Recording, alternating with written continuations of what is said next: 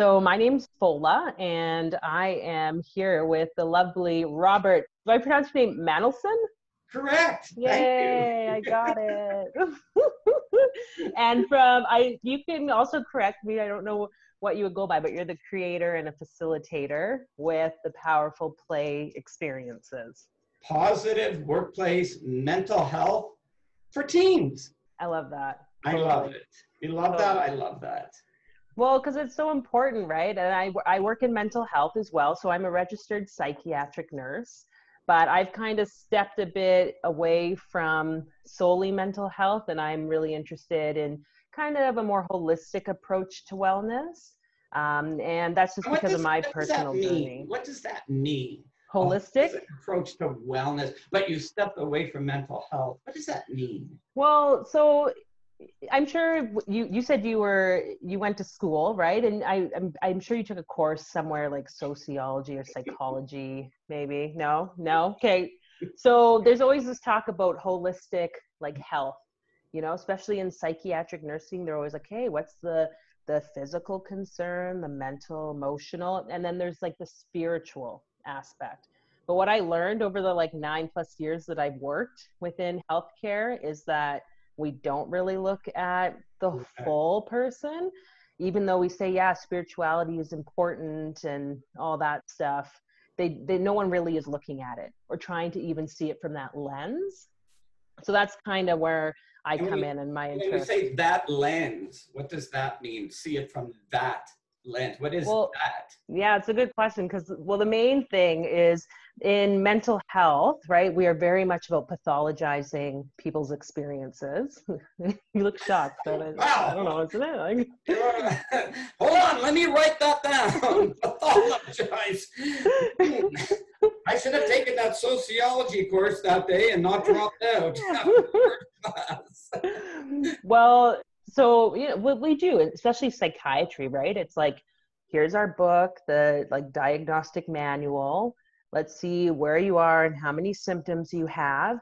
But my personal experience after taking people to hospital many times in voluntary, some involuntary, um, I had my own personal experience of what I would call like a spiritual emergence, which I was able to see how similar they were to a lot of the like mental health diagnoses. And so that's kind of what I'm coming from with the lens of are we looking through the lens of pure like medical model and seeing it only as like a physiological issue of like the neurochemicals in the brain not firing properly or just trauma issues that are impacting emotions and the mental stuff right or is there a spiritual reason something else? Like and so spiritual meaning maybe the person starts to see things as like there's deeper connections right? Mm-hmm. that they have a they start to realize hey there's like more of a purpose here for me and now what do i do? And maybe i haven't been following that purpose for most of my life and then that leads to a lot of these kind of existential sort of crises right? So it's really about working with each client and seeing where are they coming from and are they are they kind of stuck in like a paradigm that doesn't really give them the answers that they need you know some people are taking medications for for years and years and nothing changes and like I personally, I've been on medications for depression and it helped me. So I can't say medications are wrong, like everyone's different. But to see that even within our system, we only provide, you know, XYZ. And if it doesn't fit, then it's like too bad, you're screwed. And like we need the, to have this holistic view. Sorry to interrupt. Is, is that the, the pathology that you're referencing? In other words, um, we, we, uh, what doesn't sit well for you is a straight line from from illness to wellness. Mm-hmm. It's not a straight line of of, of uh, diagnosis, a pathology, a reliance on uh, data, uh, studies, and research. There's a lot more going on, and that excites you. Yeah. Oh, for sure, for sure. And I think that's the same for you, because and if we look at it, a lot of like spiritual practices they talk about the feminine and the masculine right we have the the left and the right side and so the medical model, it's like it's helped us so much. Like I'm not saying it's just throw it away, but it's all very a masculine, action oriented, very like data centered, right? And then on the other side, that more feminine or more passive and flow and creativity side that's where like play comes in right? And all these other sorts of intuitive ways of being. And we've for so long been in just one and now it's like time for them to both be okay. in the same space right? That's why it's neat to see the things that you're doing right? Because you're seeing the importance. You can be productive productive productive at work but if you don't add in play then that productivity almost is like pointless because people struggle then with their own wellness right? And and and so if i under just continue to understand you um to not you're you're very much motivated to look at uh, um, sickness and wellness um, from a from a from a modality a, a way that is maybe unwritten unscripted that maybe has a little more of uh, i don't know i won't say ambiguity because that's not the correct word but you're going on a journey, a journey of figuring this out through an experience and an engagement, a conversation, an understanding of self. And who's writing about that? Well, yeah, it's it's all based on the individual. Okay. Right? Not not on what one person says it should be for another person because we could never fully understand what someone's gone through or what they're going through you know and i think that's why there's such a shift to towards more like client centered care where you really and trauma informed care where we tr- really try to like work with clients and it's up to also the practitioner whoever's providing services to um, allow the client to kind of guide right and i like how you said the straight path because it's like nothing really is ever straight like let's be honest right so uh, before we started uh, our conversation here uh, uh via video, uh, I, I mentioned use, I used the word organic, that I'm mm-hmm. very much an organic um, in terms of how I organize play and fun at work workshops. Is that a little bit of where you're going with this? That maybe there's an unknown, but at least minimally we have an understanding of where we want to end up, but how we get there can maneuver and flow through the experience together.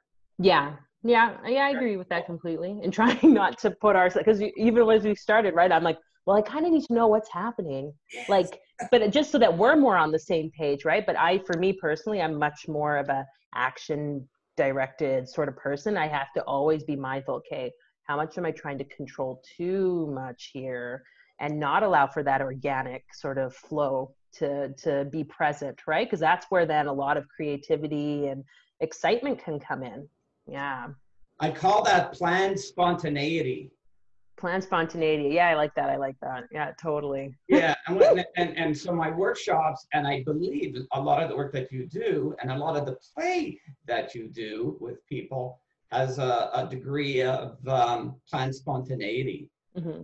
and what does that mean? Yeah. Oh yeah like so you know I've, I've taken part in quite a few like workshops or group circles whatever you'd like to call them and that's exactly it. You know we, we need to have a little bit of a direction of where we're going but allow for that flow whatever's coming up in each mm-hmm. individual that's part of that group. Because i uh, maybe you could talk a bit about kind of how your workshops are led and what you find comes up for people during sessions because you know it can elicit different things for people and you have to be able to at that point you know meet someone where they're at right amongst a group which can even be more challenging like i personally have not led a whole lot of groups so i, I can't speak about this too much but um, you know but just being a witness and observing and seeing other people leading groups i can tell that that's another another area where yeah you kind of have to have that plan plan spontaneity. I really I definitely like that.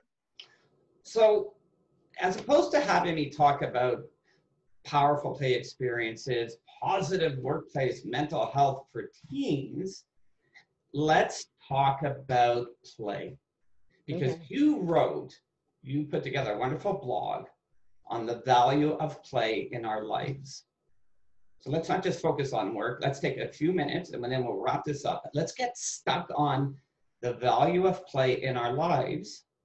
And most mm-hmm. significantly, during this period of time, mm-hmm. with all the crazy that's happening out there. So you wrote something about play.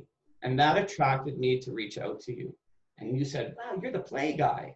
And I said, yeah, yeah, but you write about play. You write did I write? Well, I guess it was like a short thing, but then yeah, I, I did put a the podcast episode out um not that long ago because yeah, that's something that's coming out for me, and I you can see it online too, right? I'm sure you're seeing lots of people posting kind of about how they're stepping more into creativity because everyone's kind of like getting bored out of their mind.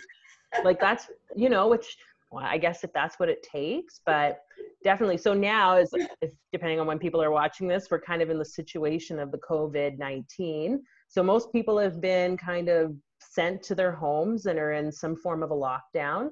Um, some people are working from home. Some people have completely been laid off, so they might have more time on their hands. Um, so definitely, we're in a different t- era, I guess if we could call that, and it Yes. is it is such a beautiful time despite all the chaos for us to be able to see okay now what can we do now that our our work mentality and all that's kind of been stripped away Yes. right?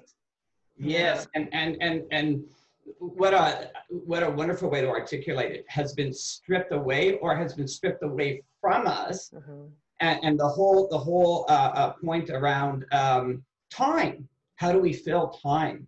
And i, I recall in uh, my college and uh, university education when i was um, moving towards working in the field of recreation and leisure uh, and this is many years ago the professors at that time uh, said this is pre pre computer pre pre technology the uh, the vision uh, way back when when I was in college and university was uh, in the future technology is going to create more free time more leisure time because it will take care of work for us and free us of work obligations. So uh, and this is this is I'll date myself here, but this is in the early the early to mid 80s when I'm studying college and university uh, recreation and leisure uh, courses.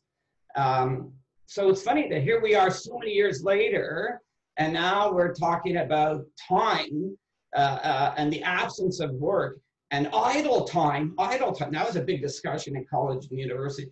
You know, the use of how people are going to use idle time in the future, which was today, Mm. but with technology downsizing uh, work responsibilities. And the prediction was that at that time, the prediction was that we were going to go to a three or four day work week. There just wasn't enough work to fill our time because technology was going to take care of that for us. And the need for recreation and leisure professionals like myself is going to be huge in the future. Not so much, not so much. but who knows what's happening because there's a lot of talk and i this is something the, the past year i was working as like a clinical nurse educator and just seeing how the amount of time at work and the actual amount of work that was being done in people around me i was like why are we not doing this like you know three day work week or whatever? And there's been talk now so who knows what will change right and i think people will start to realize how important play is and just being present in the moment. And i think you'd written in that one article you talked about the inner child and connecting. And that's something i think we can both probably connect with robert is um, with the studies i've taken within like shamanism it's all about that inner child work right? And it's about allowing the inner child to come out and play and that and that's healing right in itself. In so many levels that some people maybe they're not really into any of that and that's totally fine but it's going to do something to like bring up more capabilities and creativity overall and just happiness right? And and i don't i don't think they're not really into it. People aren't aware right? People are becoming aware of how to of people are becoming aware of the impact of the absence of work on their time. Hmm and as a result of needing to fill time with activity the benefit the value the learning the growth it's all those things that you're talking about hmm but hmm nobody is consciously sitting down with themselves at the dinner table saying, wow, we've got lots of time now. And in the absence of work, let's play. it ain't happening. But they're naturally gravitating to some form of play, Mhm. some form of play. And we've been seeing it online and in our conversations with people. Um, and through through that action, through that action of, of moving towards play, through this the, the sheer fact of the absence of work and less work, hmm wonderful new opportunities, wonderful growth is happening. Like, like, like oh, what? Shocking. oh, are you are you asking? Well, I mean, even connecting with you, right, and being able to like meet with new people, and you know, like we held that that meditation call again today, and someone that was in the group was just some random person that like had seen something I wrote somewhere, and I was like, and they live in the states, and I was like, this is so cool, like oh, cool. see see how much we can be connecting with other people and then yeah where did those opportunities take us right yeah And the the, oppor- the opportunity uh, uh, now exists to take Mm-hmm. us on a different journey through the sheer absence of work. hmm hmm So, wh- what is what? what does that mean? I, I, I'm sorry i'm getting distracted by the stick thing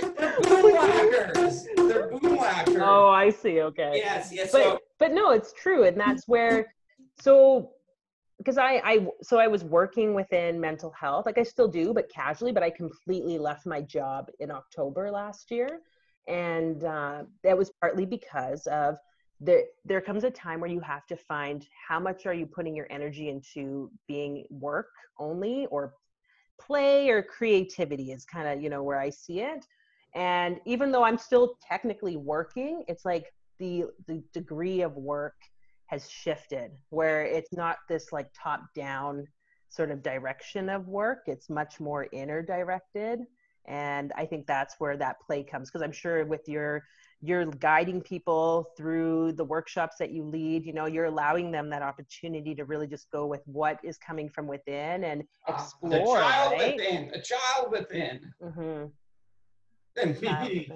The child within. So, so as work changes, as work is changing and how it how it functions, just based on everything that is happening, it's been it's work has been forced to um, uh, take the back new like.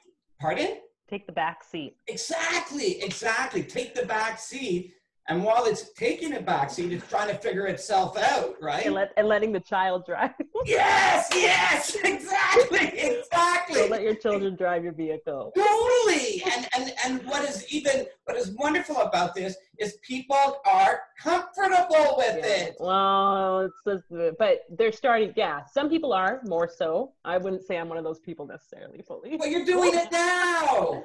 Yeah, Play isn't a time slot, you yeah, know, that you put on a calendar. It's it's all about be. It's a, a way to be. yeah. And you're being very playful right now. What are you It's it's an okay. So, what are your thoughts? you're going then? into your head again? I, I know when I look up, I do, but no, because I. into your head again.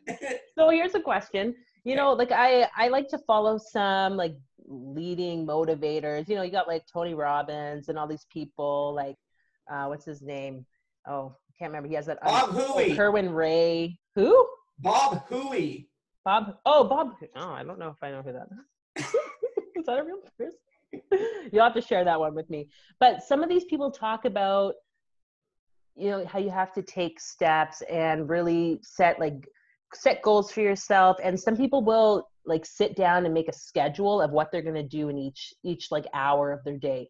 What What are your thoughts on that? Because I've kind of always struggled with that, especially when I was working in that role. I would I would find if I didn't set down time, I would get pulled in all these different directions. And then sometimes things would never even get completed, right? But then there were other days where I'd set out specific, okay, between eight and 10, I'm going to do this and this and this and this and this throughout my day. And sometimes it happened and sometimes it didn't, right? So, what, what do you think? Are we talking about work here? Uh, yeah, okay, I guess so. work? Are we, is that that? You know what? Like, it sucked the energy out of me right there. It sounds like work. Is that? It does. Yeah, it does. It does. So now, now have to come back to the same the same conversation, but think about play. Address the same question or thought, but now think play. Well, yeah, I wouldn't want to really except seeing that's an interesting thing parenting parenting a child now and schooling a child from home where the school is very much set like recesses at this time and Yes. gym is at this time is you know like kids i think still have fun no matter what. But in order to do that at home and having to try to follow a routine but still promote that creative like experience of play and just being i'm but I, I guess though i'm not really scheduling that. It'll just come naturally if it needs to. And does it yeah i, I think so for you? for me um yeah but the, you know what now that you're you have the wheels kind of turning but it's more being eh, like accepting that and i th- well yeah accepting that sometimes we just need to be in the present moment and that's something i talk about but i still struggle with because of that very that. work oriented you got to be productive and you got to do this and accomplish such and such a such a thing right so yeah I can see that. I can see Can you that. tell? Why is he asking me so many questions? yeah what Why am I doing all the talking? It's supposed to be going the other way. okay, let's see if we can summarize this. Let's see if we can summarize the conversation. What are, what are the, the top five learnings that have come about through this school conversation that was very organic, very unplanned, uh, with a wonderful sense of playfulness to it, but also based on some experiences, real life experiences uh, that you bring to the table and, uh, and that I bring to the table. So, what have we learned? What have we learned? In at number five, around the subject of play and the value of play in our life, not just in work, but in life. In at number five, what did what did you and I throw out there that could be a learning at number five? Is this okay? So is number one like the better one, the top one? I'm just checking because I'm gonna be careful when I look. okay, Do you see how my mind works? We'll start at number three. Okay, that works. Okay, number three. Well, it's it's fun. That's good. and fun as an emotion is Well, a healthy place yeah. to be. Yeah, it's enjoyable, right? What fun, and you know about the, you know, the, the physiology, the change in the Mm-hmm. physiology when we embrace fun and play. hmm You know, so on one level, there's a huge change in physiology, right? But there's also a wonderful sense of engagement, and it's a form of communication. It's an engagement tool, right? Yeah. It's a way of being. It's a childlike way of connecting. So that's number three. And at number two, what was one of our learnings? In at number two, Um, well, play play needs to be organic and natural, right? It cannot be something that we we feel. Well, I mean, maybe it can be for some people, but we just have to allow it to flow in a natural way in which it wants to kind of come up, right? We can have a plan, but as you said earlier, if we focus on the individual, if we focus on the client and allow them to have permission to play and take play in a way that allows them to feel safe in their space, that's Mhm. pretty cool. hmm Yeah. You look very serious right now. You look very. Trying to like, well, probably because I'm trying to think. Okay, he's gonna ask me what's number four or something. Okay, so like, what is we should have just had three. Why are we going to five? number Hmm. four.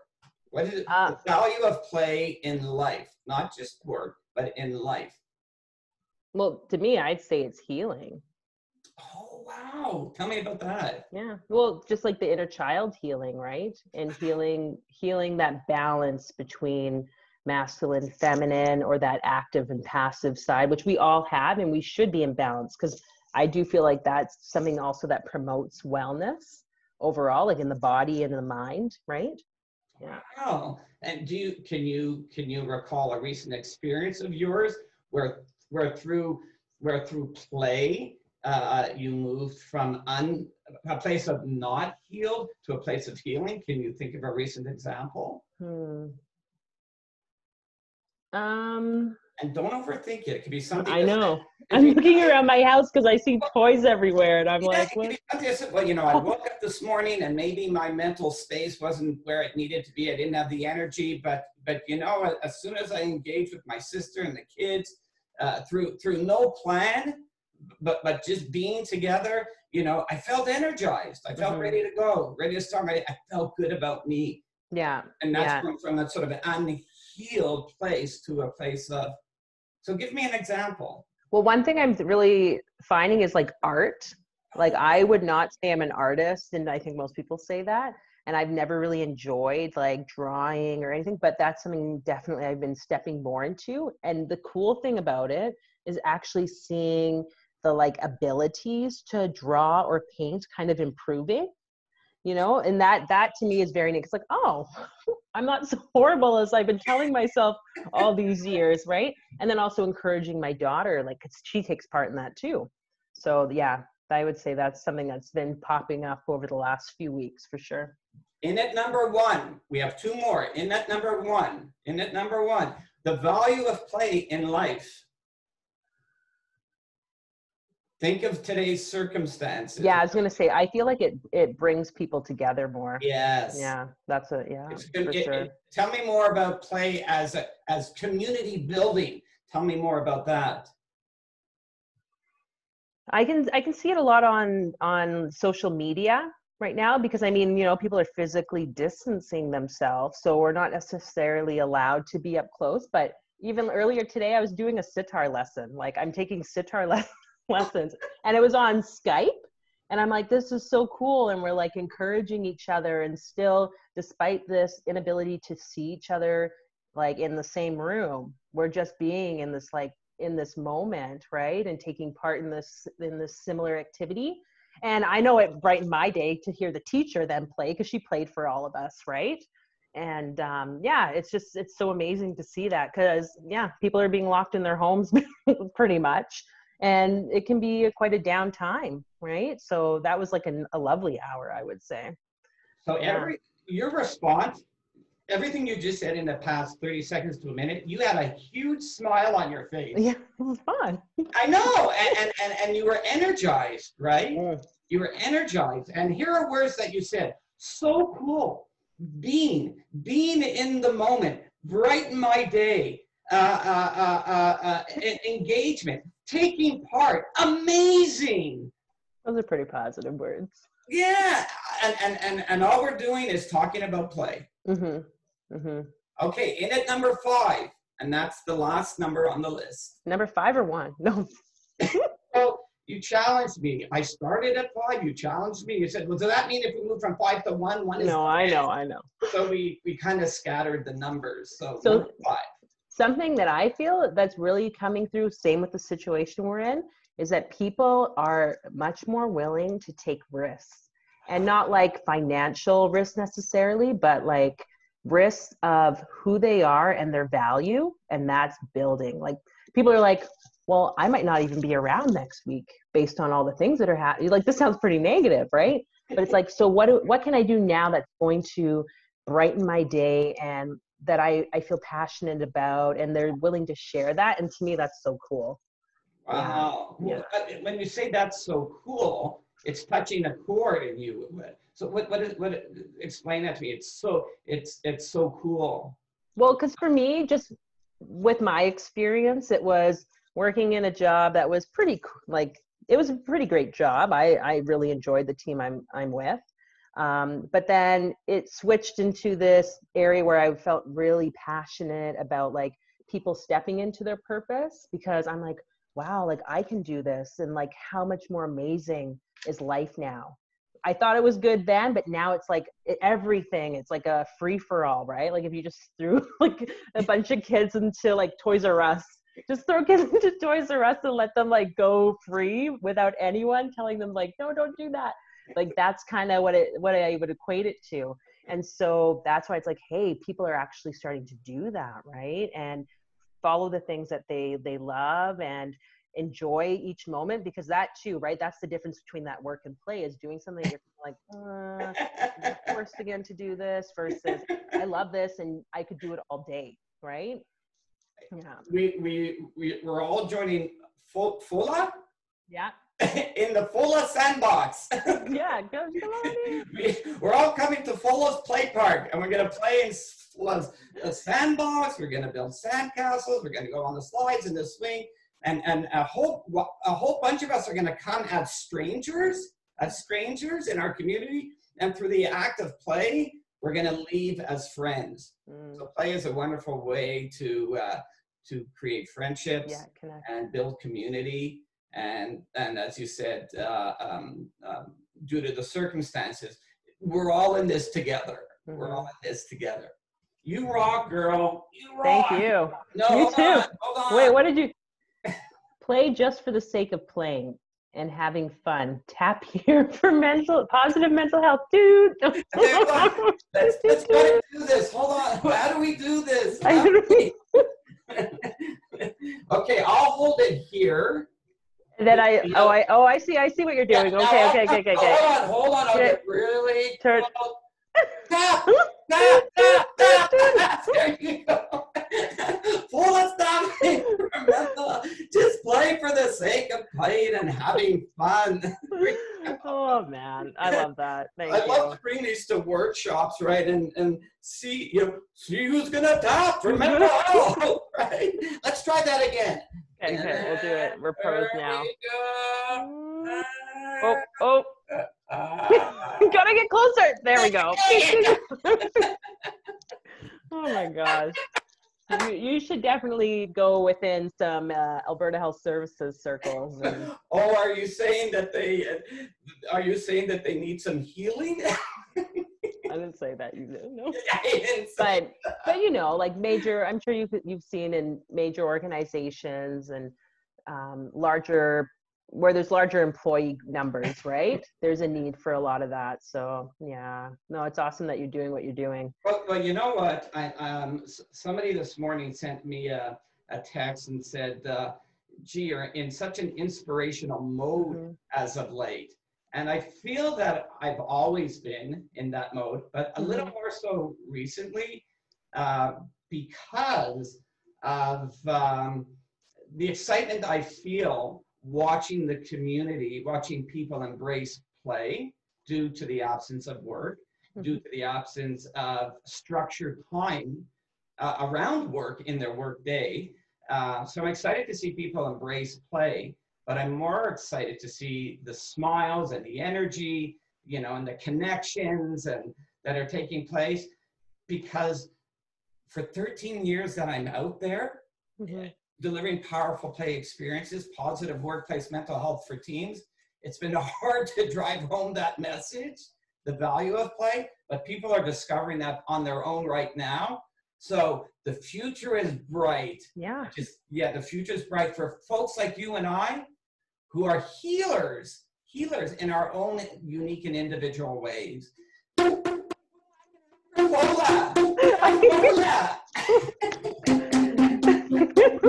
Oh, they have different sounds. I love that. I gotta get Well, this let's okay. We'll end off with the boom whackers very quickly here. So the the longest boom whacker, the longest one, the red one, is the low C on the piano scale or the music Oh. scale.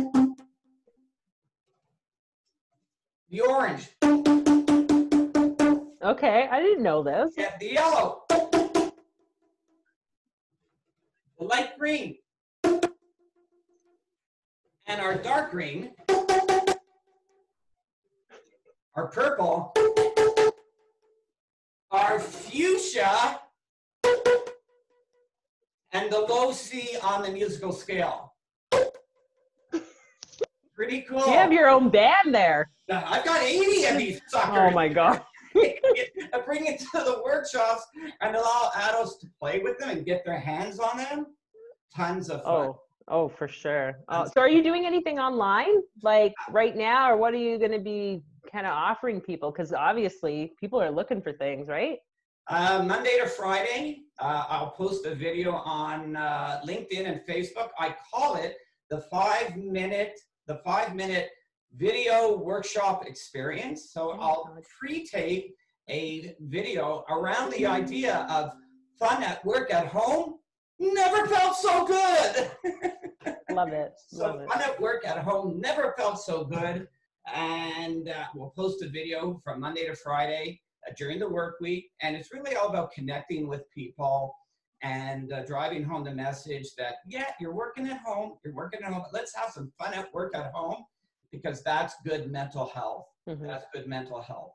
And it's a lot about uh, appreciating the situation that we're in, Mhm. but uh, to bring a smile to everyone's face, to encourage good mental health, and to uh, lighten things up as we uh, try to figure out um, uh, as we try to figure things out over the next uh, several months together.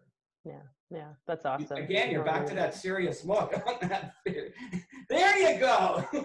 I'm always serious and and sarcastic. Anyways, thank you, Robert. oh, thank you, thank you. And how do people find you? Uh, yeah, I'm also on LinkedIn, Fola Veritas, and Facebook, which I don't know if I follow you on Facebook, so I'll have to look you up there. Um, but uh, I also have a business page, Fola Veritas Spiritual Integration and Healing, so people can look for me on there. And I'm trying to provide as much, even despite this physical distancing, because I do like long distance sort of sessions of coaching and different type of energy work. So that can really be. energy. Well, yeah, because it's important, right? Like we were just talking before we started recording about the days where maybe we're kind of struggling emotionally and our anxiety can be really high. For me, my personal experience has been very positive using energy work and such as Reiki and um, yeah. So I'm just hoping to kind of pass that on to the world so that they don't feel like all is lost. Yes. Yeah. And you and I, you and I had some great energy here, and I thank you for that. Thank you. And uh, you could turn you could turn the video off now. Stop. Bye, everyone.